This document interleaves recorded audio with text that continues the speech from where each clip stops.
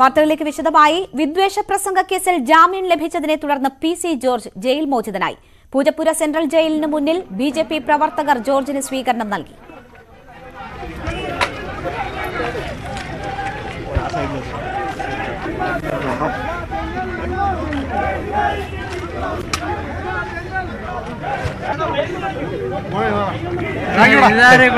നീ ഒരു വില്ലൻ തന്നെ.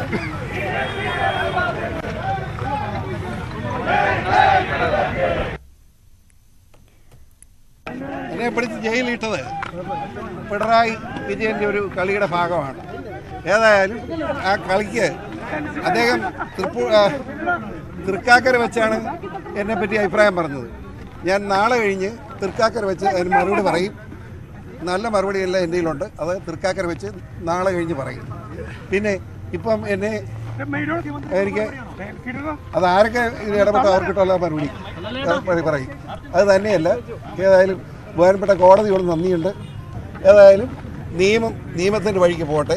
ബഹുമാനപ്പെട്ട ഹൈക്കോടതിയുടെ വിധി മാനിച്ചുകൊണ്ട് മാത്രമേ പ്രവർത്തിക്കാൻ ഉദ്ദേശിക്കുന്നുള്ളൂ. സാമാന്യ മര്യാദയും വിവരമുള്ളവന്മാരുടെ അഭിപ്രായം എന്താണെന്ന് ചോദിച്ച് മറുപടി പറയാം. ഇയാളെ പോലെ നാണക്കിട്ട മറുപടി പറയാൻ മാത്രം വിവരം കേട്ടവനല്ലേ?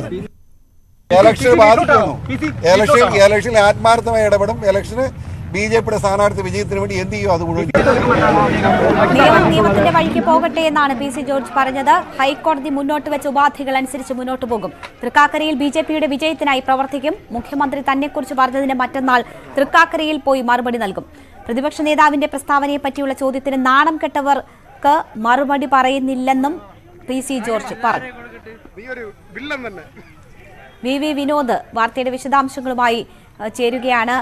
Vinod P C George jail മോചിതനായിരിക്കുന്നു. തന്റെ ഭാവി രാഷ്ട്രീയം എന്ത് എന്നതിന്റെ സൂചനകൾ കൂടിയാണ് ജയിൽ മോചിതനായതിനു ശേഷം മാധ്യമങ്ങളെ കണ്ടപ്പോൾ പി സി ജോർജ് പറഞ്ഞത്. വിശദാംശങ്ങൾ എന്തൊക്കെ?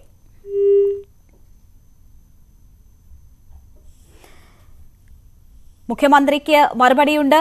തൃക്കാക്കരയിൽ നാളെ കഴിഞ്ഞ് മുഖ്യമന്ത്രിക്ക് മറുപടി നൽകും. തന്നെ ജയിലിൽ അടച്ചത് മുഖ്യമന്ത്രിയുടെ രാഷ്ട്രീയ നീക്കമായിരുന്നു. അതിനുള്ള മറുപടി എന്താണ് എന്നത് മുഖ്യമന്ത്രിക്ക് തൃക്കാക്കരയിലെത്തി നൽകുമെന്നാണ് പി സി ജോർജ് പറഞ്ഞത്. തൃക്കാക്കരയിലെ ബി ജെ പി സ്ഥാനാർത്ഥിയുടെ വിജയത്തിനായി പ്രവർത്തിക്കുമെന്നും പി സി ജോർജ് പറഞ്ഞു. വിജയത്തിനായി എന്തൊക്കെ ചെയ്യാൻ കഴിയുമോ അതൊക്കെ ചെയ്യും എന്നതാണ് പി സി ജോർജിന്റെ പ്രതികരണം. തന്റെ രാഷ്ട്രീയം എങ്ങോട്ട് എന്നതിന്റെ ശക്തമായ സൂചനയാണ് പി സി ജോർജിന്റെ ഇന്നത്തെ വാക്കുകൾ. ബി ജെ പി പ്രവർത്തകർ ഇന്നും ജയിൽ മോചിതനായി എത്തിയ പി സി ജോർജിന് ജയിലിന് മുന്നിൽ വലിയ സ്വീകരണമാണ് ഒരുക്കിയത്. ജില്ലാ പ്രസിഡന്റിന്റെ നേതൃത്വത്തിൽ ബി പ്രവർത്തകർ തടിച്ചുകൂടി ഷോളുകൾ അണിഞ്ഞാണ് പി സി ജോർജിനെ സ്വീകരിച്ചത്. അവിടെയാണ് പി സി ജോർജ് തൃക്കാക്കരയിൽ ബി ജെ പി സ്ഥാനാർത്ഥിയുടെ വിജയത്തിനായി പ്രവർത്തിക്കുമെന്നും പറഞ്ഞത്. വി വി വിനോദ് ചേരുന്നുണ്ട്. വിനോദ് പി സി ജോർജിന്റെ രാഷ്ട്രീയ ഭാവിയുടെ സൂചന നൽകുന്നത് കൂടിയായിരുന്നു ഇന്നത്തെ അവിടുത്തെ പ്രതികരണം. എന്തൊക്കെയാണ് അദ്ദേഹം പറഞ്ഞത്? രേണുക മറ്റന്നാൾ തൃക്കാക്കരയിൽ മുഖ്യമന്ത്രിക്ക് മറുപടി നൽകും എന്നാണ് പി സി ജോർജിന്റെ ഇന്നത്തെ ഏറ്റവും പ്രധാനപ്പെട്ട പ്രതികരണം. ഏതായിരുന്നാലും തൃക്കാക്കരയിലെ ബി ജെ പി സ്ഥാനാർത്ഥിയുടെ വിജയത്തിന് വേണ്ടി താൻ പ്രവർത്തിക്കും തൃക്കാക്കരയിലേക്ക് എത്തും. അവിടെ തൃക്കാക്കരയിലാണ് മുഖ്യമന്ത്രി തനിക്കെതിരെ പറഞ്ഞത്. അവിടെ മുഖ്യമന്ത്രിക്ക് മറുപടി നൽകും. തന്റെ തനിക്കെതിരെ ഇപ്പോൾ ഉണ്ടായ ഈ നടപടികൾക്ക് പിന്നിലല്ല മുഖ്യമന്ത്രിയുടെ കളിയാണ്. അതിന് തന്നെ അതുകൊണ്ട് തന്നെ അതിന് മുഖ്യമന്ത്രിക്ക് മറുപടി നൽകും എന്ന ഒരു കാര്യമാണ് ഏറ്റവും പ്രധാനമായി പി സി ജോർജ് ജയിൽ മോചിതനായി വന്ന ശേഷം പറഞ്ഞത് ദൈവത്തിന് നന്ദി കോടതിക്ക് നന്ദി തുടങ്ങി അദ്ദേഹം കാര്യങ്ങൾ പറഞ്ഞെങ്കിലും ഏതെങ്കിലും തരത്തിൽ വിദ്വേഷപരമായ പരാമർശങ്ങളിലേക്കോ അല്ലെങ്കിൽ മുൻ നിലപാടിനെ സംബന്ധിച്ചുള്ള ചോദ്യങ്ങൾക്ക് എന്തെങ്കിലും പ്രകോപനപരമായിട്ടുള്ള മറുപടിയിലേക്കോ പി സി ജോർജ് പോയില്ല എന്നത് തന്നെയാണ് ഏറ്റവും ശ്രദ്ധേയമായ കാര്യം.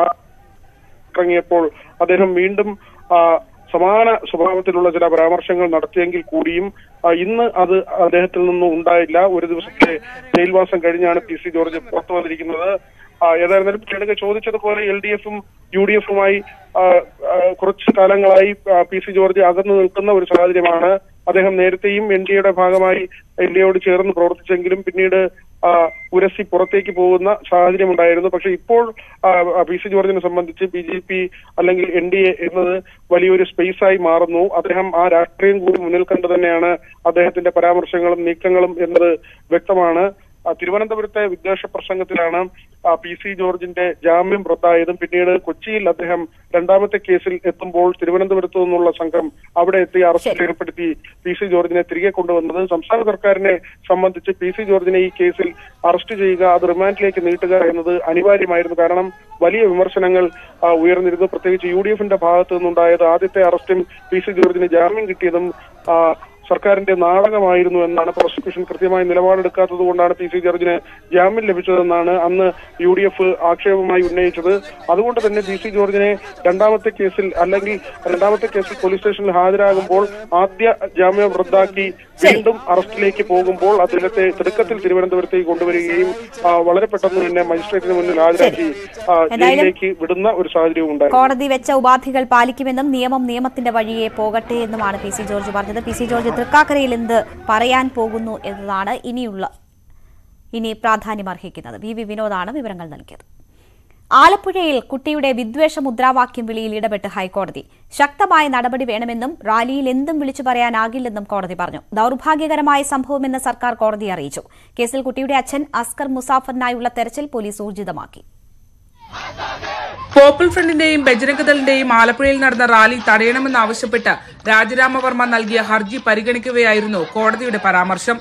റാലിയിൽ പങ്കെടുക്കുന്നവർ പ്രകോപനപരമായ മുദ്രാവാക്യം വിളിച്ചാൽ സംഘാടകരായ നേതാക്കളാണ് ഉത്തരവാദികളെന്ന് കോടതി പറഞ്ഞു. സംഭവം ദൌർഭാഗ്യകരമാണെന്നും കേസിൽ രണ്ടുപേരെ അറസ്റ്റ് ചെയ്തിട്ടുണ്ടെന്നും സർക്കാർ കോടതിയെ അറിയിച്ചു. അതേസമയം കുട്ടിയുടെ പിതാവായ പളുരുത്തി സ്വദേശി അസ്കർ മുസാഫറിനായുള്ള തിരച്ചിൽ പോലീസ് തുടരുകയാണ്. എറണാകുളം കോട്ടയം ജില്ലകളിലായാണ് തിരച്ചിൽ. പള്ളുരുത്തിയിലെ വാടക വീട് ദിവസങ്ങളായി അടഞ്ഞുകിടക്കുകയാണെന്ന് അയൽവാസികൾ പോലീസിനെ അറിയിച്ചിട്ടുണ്ട്. കുടുംബ വീട്ടിൽ പോലീസ് എത്തിയെങ്കിലും അറിയില്ല എന്ന മറുപടിയാണ് അമ്മയും സഹോദരങ്ങളും നൽകിയത്. ഈരാറ്റുപേട്ടയിൽ നിന്ന് സഹായം ലഭിച്ചിട്ടുണ്ടെന്ന വിവരം കിട്ടിയതിനാൽ അന്വേഷണ സംഘം അവിടേക്കും നീങ്ങിയിട്ടുണ്ട്. പള്ളുരുത്തിയിൽ ഇറച്ചിക്കച്ചവടവും വാഹന വിൽപ്പനയുമാണ് അസ്കറിന്. സജീവ പോപ്പുലർ ഫ്രണ്ട് പ്രവർത്തകനുമാണ് ഇയാൾ. പൌരത്വ പ്രതിഷേധത്തിൽ ഉൾപ്പെടെ നിരവധി സമരങ്ങളിൽ കുട്ടിയെ ഉപയോഗിച്ചിട്ടുണ്ടെന്ന് പോലീസ് സ്ഥിരീകരിച്ചു. കേസിൽ രണ്ടാം പ്രതിയായ P F I secretary Mujeeb Yakoob മുൻകൂർ ജാമ്യാപേക്ഷയ്ക്കായി ആലപ്പുഴ ജില്ലാ കോടതിയെ സമീപിച്ചു. News eighteen Alappuzha. P F I റാലിയിൽ വിദ്വേഷ മുദ്രാവാക്യം വിളിച്ചവർക്കെതിരെ നടപടിയെടുക്കാൻ സർക്കാർ തയ്യാറാകുന്നില്ലെന്ന് ബി ജെ പി സംസ്ഥാന അധ്യക്ഷൻ കെ സുരേന്ദ്രൻ. സർക്കാർ അറിഞ്ഞാണ് മുദ്രാവാക്യം വിളിച്ച കുട്ടിയും മാതാപിതാക്കളും ഒളിവിൽ പോയത്. പോപ്പുലർ ഫ്രണ്ടുമായി സർക്കാർ കൂട്ടുകെട്ടുണ്ടാക്കുന്നു. കേരളത്തെ താലിബാൻ വൽക്കരിക്കുകയാണെന്നും സുരേന്ദ്രൻ കൊച്ചിയിൽ പറഞ്ഞു. നടിയെ ആക്രമിച്ച കേസ് അട്ടിമറിക്കുന്നുവെന്നാരോപിച്ച് അതിജീവിത നൽകിയ ഹർജി പരിഗണിക്കുന്നത് ഹൈക്കോടതി ബുധനാഴ്ചത്തേക്ക് മാറ്റി. റിപ്പോർട്ട് സമർപ്പിക്കാൻ ബുധനാഴ്ച വരെ പ്രോസിക്യൂഷൻ സാവകാശം നേടിയതിനെ തുടർന്നാണ് ഹർജി മാറ്റിയത്. ഹർജിയിൽ കഴിഞ്ഞ ദിവസം സർക്കാരിനോട് കോടതി വിശദീകരണം തേടിയിരുന്നു. കേസന്വേഷണം പാതിവഴിയിൽ അവസാനിപ്പിക്കാനായി ഭരണതലത്തിൽ നിന്നും രാഷ്ട്രീയ ഇടപെടൽ ഉണ്ടാകുന്നു എന്നതടക്കം സർക്കാരിനെതിരെ ഗുരുതര ആരോപണങ്ങൾ ഉയർത്തിയായിരുന്നു ഹർജി. കേസിലെ തുടരന്വേഷണം പൂർത്തിയാക്കാൻ ക്രൈംബ്രാഞ്ച് സമയം കൂട്ടിച്ചോദിക്കും. മൂന്ന് മാസം കൂടി സമയം നീട്ടി നൽകണമെന്നാവശ്യപ്പെടാനാണ് തീരുമാനം.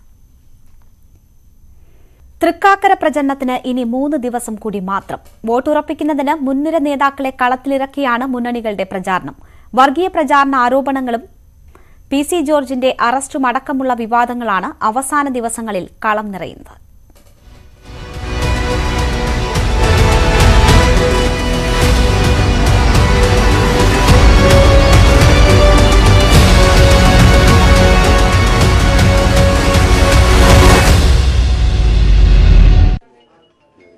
മാറിമറിയുന്ന പ്രചരണ വിഷയങ്ങളിൽ തൃക്കാക്കര കളം നിറയുകയാണ്. മൂന്ന് ദിവസം കൂടി മൂന്ന് മുന്നണികളുടെയും മുൻനിര നേതാക്കളെല്ലാം കളത്തിലുണ്ട്. മന്ത്രിമാരെ കളത്തിലിറക്കി സർക്കാർ സംവിധാനങ്ങൾ ദുരുപയോഗം ചെയ്യുകയാണെന്ന ആരോപണം തുടക്കം മുതൽ യു ഡി എഫ് ഉന്നയിക്കുന്നു. അവസാന ഘട്ടത്തിൽ പ്രചരണത്തിനിറങ്ങിയ എ കെ ആന്റണിയും സർക്കാരിനെതിരെ രൂക്ഷ വിമർശനം ഉന്നയിച്ചു. ജനങ്ങൾ ദുരിതത്തിലായിരിക്കുമ്പോൾ മന്ത്രിപ്പട തിരുവനന്തപുരത്ത് നിന്നുകൊണ്ട് അവർക്ക് ആശ്വാസത്തിന് പകരം അല്ലെങ്കിൽ മന്ത്രിമാർ ഓരോ ജില്ലകളിൽ പോയി ദുരിതാശ്വാസ പ്രവർത്തനങ്ങൾ നേരിടുന്ന നേരത്തെ കൊടുക്കുന്നതിന് പകരം ഈ തൃക്കാക്കരയിൽ തമ്പടിച്ചിരിക്കുന്ന ക്രിമിനൽ കുറ്റമാണ്. കാരണം തൊണ്ണൂറ്റൊമ്പത് സീറ്റ് ഗവൺമെന്റിനുണ്ട് ഗവൺമെന്റ് അട്ടിമറിക്കപ്പെടാൻ പോകുന്നില്ല. അതിജീവിത വിവാദവും പി സി ജോർജിന്റെ അറസ്റ്റുമെല്ലാം തൃക്കാക്കരയിലെ പ്രധാന വിഷയങ്ങളാണ്. ജോർജിനെ അറസ്റ്റ് ചെയ്തത് മുസ്ലിം വോട്ട് ലക്ഷ്യമിട്ടാണെന്നാണ് സംഘപരിവാർ കേന്ദ്രങ്ങളുടെ ആരോപണം. ജോർജിന്റെ അറസ്റ്റും തെരഞ്ഞെടുപ്പുമായി ബന്ധമില്ലെന്ന് സി പി എം. തൃക്കാക്കരയിലെ ഇലക്ഷനും അദ്ദേഹത്തിന്റെ അറസ്റ്റും തമ്മിൽ യാതൊരു ബന്ധവുമില്ല. അദ്ദേഹം നടത്തിയിട്ടുള്ള വിദ്വേഷകരമായ പ്രസംഗത്തിന്റെ അടിസ്ഥാനത്തിലുള്ള നിയമപരമായ നടപടി മാത്രമാണ് സർക്കാർ സ്വീകരിച്ചിട്ടുള്ളത്. തെരഞ്ഞെടുപ്പിന്റെ അവസാന ഘട്ടത്തിൽ മുഖ്യമന്ത്രി പച്ചയായ വർഗീയ പ്രചരണം നടത്തുന്നുവെന്ന് ബി ജെ പി സമുദായ നേതാക്കളെ രഹസ്യമായി സന്ദർശിച്ച് നീക്കം നടത്തുന്നുവെന്നാണ് ആരോപണം. ഇപ്പോ വോട്ടുകൾ ഏകീകരിക്കാനുള്ള പ്രത്യേകിച്ച് മുസ്ലിം വോട്ടുകൾ ഏകീകരിക്കാനുള്ള ആസൂത്രിതമായിട്ടുള്ള നീക്കമാണ് മുഖ്യമന്ത്രി നടത്തുന്നത്. അതിനുവേണ്ടിയുള്ള പ്രചാരണങ്ങളാണ് മുഖ്യമന്ത്രി പരസ്യമായി നടത്തുന്നത്. രഹസ്യമായി എല്ലാ വർഗീയ സംഘടനകളെയും അതിന്റെ നേതാക്കളെയും മുഖ്യമന്ത്രി കാണുകയാണ് തൃക്കാക്കരയിൽ. കെ വി തോമസിന്റെ പുതിയ രാഷ്ട്രീയ പ്രഖ്യാപനമടക്കം തൃക്കാക്കര തുടക്കം മുതൽ ശ്രദ്ധാകേന്ദ്രമായിരുന്നു കെ വി തോമസ് പാർട്ടി വിട്ടത് സംബന്ധിച്ച ചോദ്യത്തോട് എ കെ ആന്റണി പ്രതികരിക്കാൻ തയ്യാറായില്ല. എന്റെ പൊന്നു സുഹൃത്തെ നമുക്ക് വേറെ കാര്യം മാറി മാറിമറിയുന്ന പ്രചരണ വിഷയങ്ങൾ തൃക്കാക്കരയുടെ ജനവിധി പ്രവചനാതീതമാക്കുകയാണ്. മുപ്പത്തിയൊന്നിന് വോട്ടെടുപ്പിന് ശേഷം ജൂൺ മൂന്നിന് മണ്ഡലത്തിന്റെ ജനവിധി അറിയാം. News eighteen Thrikkakara. തൃക്കാക്കരയിലെ L D F സ്ഥാനാർത്ഥി ജോ ജോസഫിനെ അപകീർത്തിപ്പെടുത്തുന്ന വ്യാജ വീഡിയോ പ്രചരിപ്പിച്ച സംഭവത്തിൽ അറസ്റ്റിലായവരിൽ കോൺഗ്രസ് മണ്ഡലം പ്രസിഡന്റും പാലക്കാട് ആമയൂർ മണ്ഡലം പ്രസിഡന്റ് ഷുക്കൂർ ഉൾപ്പെടെ രണ്ടുപേരാണ് അറസ്റ്റിലായത്. അശ്ലീല വീഡിയോ പ്രചാരണത്തിന് പിന്നിൽ കെ പി സി സി പ്രസിഡന്റിന്റെയും പ്രതിപക്ഷ നേതാവിന്റെയും സൈബർ ആളുകളെന്ന് എൽ ഡി എഫ് ആരോപിച്ചു. എന്നാൽ അപവാദ പ്രചാരണത്തിൽ പങ്കിടില്ലെന്ന് പ്രതിപക്ഷ നേതാവ് വി ഡി സതീശൻ പറഞ്ഞു. വ്യാജ വീഡിയോ പ്രചരിപ്പിച്ച കേസിൽ രണ്ടുപേരാണ് അറസ്റ്റിലായിരിക്കുന്നത്. പാലക്കാട് ആമയൂർ മണ്ഡലം പ്രസിഡന്റ് ഷുക്കൂർ അറസ്റ്റിലായവരിൽ ഉൾപ്പെടും. കൂടുതൽ അറസ്റ്റ് ഉടൻ ഉടനുണ്ടാകുമെന്ന് കൊച്ചി സിറ്റി പോലീസ് കമ്മീഷണർ അപ്പോൾ ഈ കേസിൽ നമ്മൾ ഒരു അഞ്ച് പേരെ ഐഡന്റിഫൈ ചെയ്തിട്ടുണ്ട്. അതിൽ രണ്ട് പേരെ ഓൾറെഡി അറസ്റ്റ് ചെയ്തിട്ടുണ്ട്. ഇനി ഒരു മൂന്ന് പേര് അതിന്റെ കൂടുതൽ ആൾക്കാർ ഉണ്ടാവാൻ സാധ്യത ഉണ്ട് അത് നമ്മൾ സൈബർ അനാലിസിസ് നടക്കുകയാണ്. അശ്ലീല വീഡിയോ പ്രചാരണത്തിൽ ഭരണ പ്രതിപക്ഷ മുന്നണികൾ തമ്മിൽ വാക്പൂര് ശക്തമാവുകയാണ്. പ്രചാരണത്തിന് പിന്നിൽ കെ പി സി സി പ്രസിഡന്റിന്റെയും പ്രതിപക്ഷ നേതാവിന്റെയും സൈബർ ആളുകളാണെന്ന് എൽ ഡി എഫ് ആരോപിച്ചു. ഏറ്റവും ഒടുവിൽ അങ്ങേയറ്റം വിഷലിപ്തമായ ഹീനമായ വീഡിയോ പ്രചാര വിലയ്ക്ക് നേതൃത്വം നൽകി. ഇപ്പോൾ അറസ്റ്റ് ചെയ്യപ്പെട്ടിട്ടുള്ളത് കോൺഗ്രസിന്റെ പ്രധാനപ്പെട്ട പ്രവർത്തകരാണ്. ഇനിയും ഇത് സംബന്ധിച്ച് ഗൗരവമായ അന്വേഷണം വേണം. ഇത് മുളയിലെ നുള്ളാൻ കഴിയണം. ഇവിടെ ഒരു പ്രത്യേക കേന്ദ്രം ചില ആളുകളുടെ നേതൃത്വത്തിൽ ഈ സൈബർ ആക്രമണത്തിന് വേണ്ടി പ്രവർത്തിച്ചുകൊണ്ടിരിക്കുന്നുണ്ട്. ആദ്യം തനിക്കെതിരെ വ്യക്തിഹത്യ നടത്തി ഇപ്പോൾ കുടുംബത്തെയും ആക്രമിക്കുകയാണെന്ന് ജോ ജോസഫ്. അവസാനം എന്നെ വിട്ടേക്കൂ. കുടുംബത്തെയും കുട്ടികളുടെയും മാനസിക നിലയെ മാനസികമായിട്ട് ബുദ്ധിമുട്ടിക്കുന്ന രീതിയിൽ ബന്ധുക്കൾ പലരും വിളിച്ചു ചോദിക്കുന്നു. അത് വളരെ മോശമായ പ്രവണതയാണ്. അത് വളരെ ആസൂത്രിതവുമാണ്. ഭീഷണിക്ക് വഴങ്ങില്ലെന്നും നിയമ പോരാട്ടം തുടരുമെന്നും ജോ ജോസഫിന്റെ ഭാര്യ ദയാ പാസ്കൽ. ഒന്നതിന്റെ നിയമപരമായ വശമാണ്. അത് തീർച്ചയായും ശക്തമായി പിന്തുടരേണ്ടതുണ്ട്. അവർക്ക് ശിക്ഷ കിട്ടേണ്ടതുണ്ട് നാളെ ഒരിക്കലും അവരത് ആവർത്തിക്കരുതല്ലോ. ഞങ്ങളോട് മാത്രമല്ല. പിറകെയും ഒരുപാട് പേരുണ്ടല്ലോ വരാൻ. അപ്പോൾ അവർ വേറെ ആരോടും വേറെ ആരോടും ഇനി ഇത് ആവർത്തിക്കരുത് എന്നുണ്ട്. അശ്ലീല വീഡിയോ പ്രചാരണത്തിൽ കോൺഗ്രസ് പ്രവർത്തകർക്ക് ബന്ധമില്ലെന്നായിരുന്നു പ്രതിപക്ഷ നേതാവ് വി ഡി സതീശന്റെ പ്രതികരണം. കോൺഗ്രസിന്റെ മണ്ഡലം പ്രസിഡന്റൊന്നും അറസ്റ്റിലായിട്ടില്ല ഈ അപവാദ വീഡിയോയുമായിട്ട് യു ഡി എഫിന് യാതൊരു ബന്ധമില്ല ബന്ധമുണ്ടെങ്കിൽ അവർ തെളിയിച്ചോട്ടെ. പിന്നെ സമൂഹ മാധ്യമങ്ങളിൽ ഇതുപോലത്തെ വീഡിയോകൾ വന്നു കഴിഞ്ഞാൽ ധാരാളം ആളുകൾ നൂറുകണക്കിന് ആളുകൾ പ്രചരിപ്പിക്കും. ആ പ്രചരിപ്പിച്ച കൂട്ടത്തിൽ ഇന്നലെ അറസ്റ്റ് ചെയ്തുകൊണ്ട് ചവറയിൽ നിന്ന് അറസ്റ്റ് ചെയ്ത് ഇന്നലെ കൊണ്ടുവന്ന ആൾ സി പി എംകാരനാണ്. കുടുംബത്തിനെതിരെയുള്ള ആക്രമണത്തെ അംഗീകരിക്കുന്നില്ലെന്ന് യു ഡി എഫ് സ്ഥാനാർത്ഥി ഉമാ തോമസും പറഞ്ഞു. എനിക്കാണ് ഇത് സംഭവിച്ചതെങ്കിൽ എന്റെ കുട്ടികളുടെ വികാരം എന്തായിരിക്കും എനിക്ക് മനസ്സിലാക്കാൻ പറ്റും. ഒരു കാരണവശാലും അങ്ങനെ ഉണ്ടാവാൻ പാടില്ല. അത് നടക്കാൻ പാടില്ലാത്തതായിരുന്നു. ആര് തന്നെ തെറ്റ് ചെയ്താലും അവർ ഏഹ്, ചെയ്തത് തെറ്റെന്ന് തന്നെ എനിക്ക് പറയാനുള്ളൂ. വീഡിയോ പ്രചാരണത്തിൽ രാഷ്ട്രീയമുണ്ടെന്ന് സി പി എം നേതാക്കളായ പി കെ ശ്രീമതിയും സി എസ് സുജാതയും ആരോപിച്ചു. News eighteen Thrikkakara.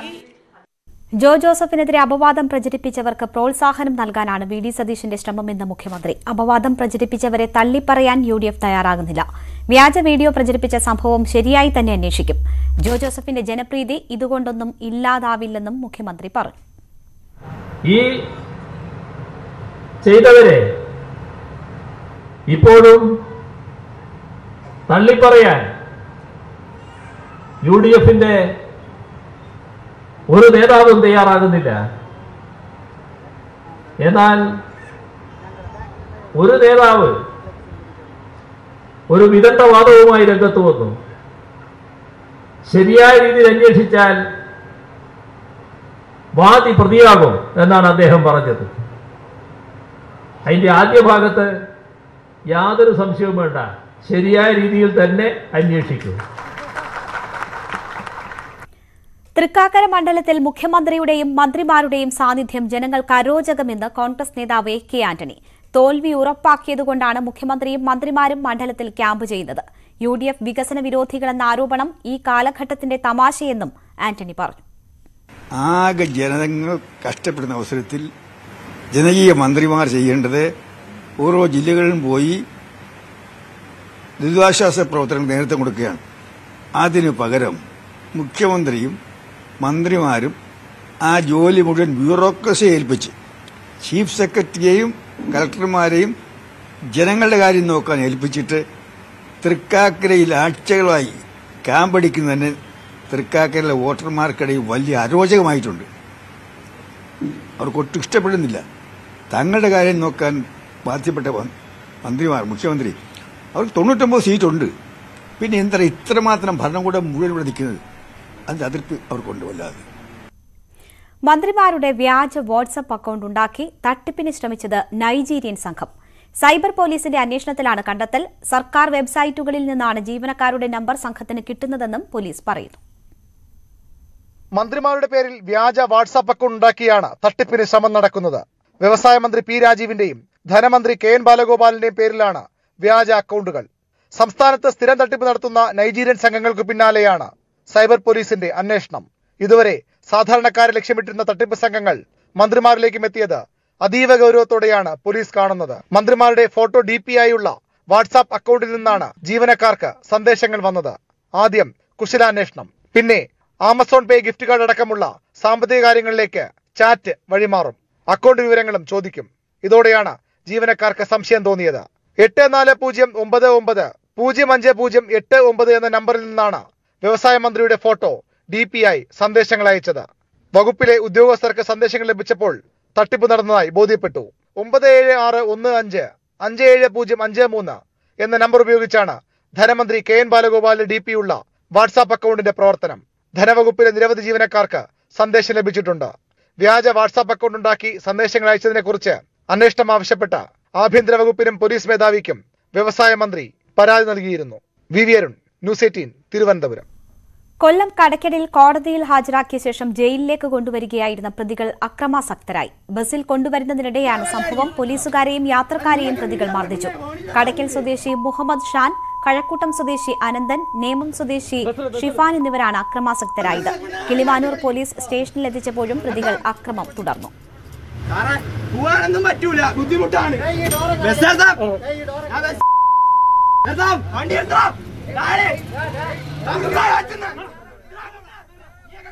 പ്രതികളെ പിന്നീട് പോലീസ് കസ്റ്റഡിയിലെടുത്തു. മോഷണക്കേസ് പ്രതികളാണ് മൂന്നുപേരും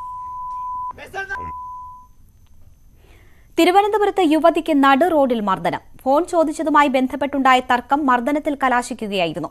വട്ടിയൂർക്കാവ് സ്വദേശി ശോഭയ്ക്കാണ് മർദ്ദനമേറ്റത്. സംഭവത്തിൽ മ്യൂസിയം പോലീസ് കേസെടുത്തു.